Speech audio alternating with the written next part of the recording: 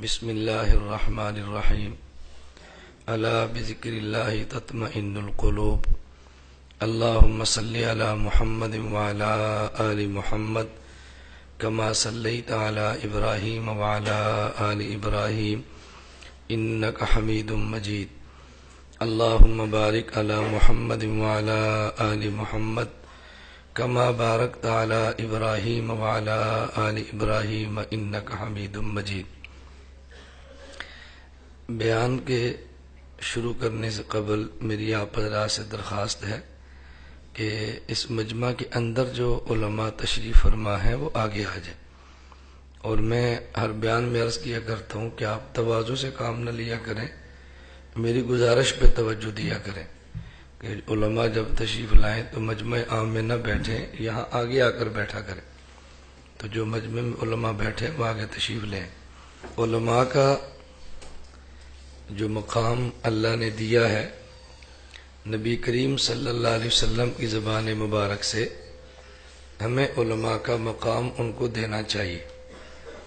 हजूर अक्रम वसल्लम का इरशाद है, इन्नल उलमा अवरसतुल अम्बिया कि उलमा अम्बिया के वारिस हैं।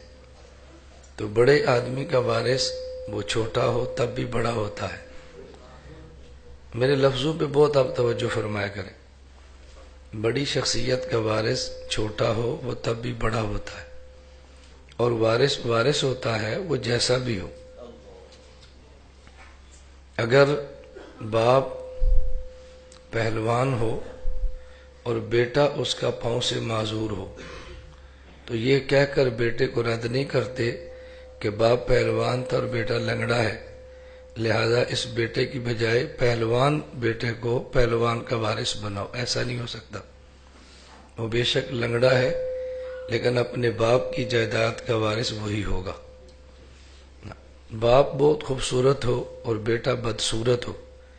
बदसूरत होने के बावजूद खूबसूरत बेटे का वारिस वही, खूबसूरत बाप का वारिस वही बेटा है। ये कहकर उस बाप को अलग नहीं किया जा सकता कि ये जो कि बाप खूबसूरत है तो इसके वारिस के लिए खूबसूरत बेटा तलाश करो, बदसूरत इसका वारिस नहीं बन सकता, ऐसी बात हरगिज नहीं है। ये बात मैं इसलिए अर्ज़ करता हूँ, उलमा जैसे भी हूँ, उलमा है। और नबी करीम सल्लल्लाहु अलैहि वसल्लम के वारिस हैं। इसलिए वारिस का एहतराम करेंगे, खुद रसूल सल्लम खुश होंगे कि इन्होंने हया मेरी नस्बत का किया है उसकी अमली कमज़ोरी की वजह से मेरी नस्बत को मुस्तरद नहीं किया। आप बताओ, आपका बेटा हो और नलायक हो, और कोई बंदा फिर भी उसका एहतराम करे, फला बाप का बेटा है तो बाप को खुशी होती है कि मेरा बेटा अगरचे नलायक था, लेकिन इसने मेरी नस्बत का हया किया है।